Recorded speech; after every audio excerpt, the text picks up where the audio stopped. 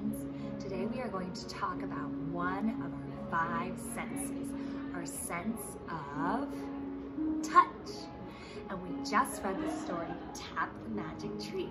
So we are going to make our very own magical tree. What you'll need is some paper, something to write with, and some paint. Today Miss Christie is using green and pink, but you can use any colors that you like. So the first thing we are going to do is we're going to draw some branches and a tree trunk for our tree. Christy's going to make a really tall tree. It's going to take up a whole page, just like that. Now, you can color it in if you'd like, but you don't have to. Your tree can look however you want. Next is the fun part. This is where we're going to use our sense of touch. We are going to finger paint on some leaves. So I'm going to use my pointer finger, dip it in the paint, not too much, and then I'm going to start putting leaves on my piece of paper, wherever I want my leaves to be on my tree.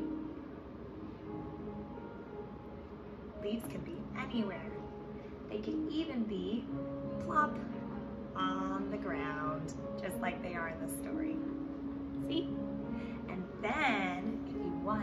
add some buds to make the tree even more magical.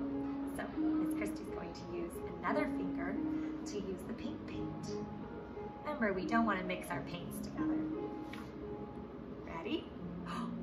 And then you can add finger paint to your other tree. Just like that. Until you have buds and leaves all over your paper.